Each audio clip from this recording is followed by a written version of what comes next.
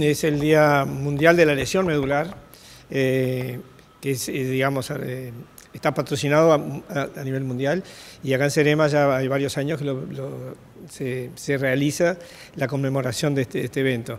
Y yo decía que en, realidad es difícil denominarlo, cómo denominarlo, y elegíamos que hablar de celebrar, porque la palabra celebrar viene del latín que es celebrar, ¿eh? que significa reunión de personas. Y bueno, este es el evento, es reunirse para hablar de este tema, compartir las vivencias.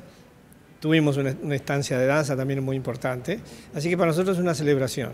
Y saber que lo, contrario de celebrar es la palabra desierto, o sea que celebrar es la palabra más adecuada.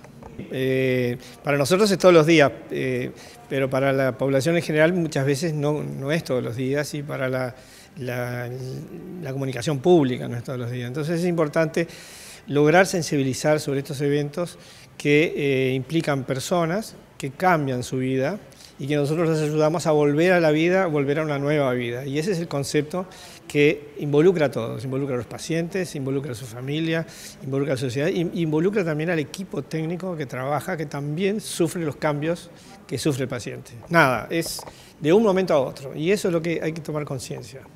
Eh, más allá de las distintas etiologías donde los accidentes de tránsito cobran un rol importante, especialmente en la lesión medular, es algo que le puede pasar a cualquiera de nosotros, los que están de este lado y los que están del otro lado, y puede ser de un momento a otro. Por lo tanto, tiene que ser un tema de la comunidad entender estas cosas.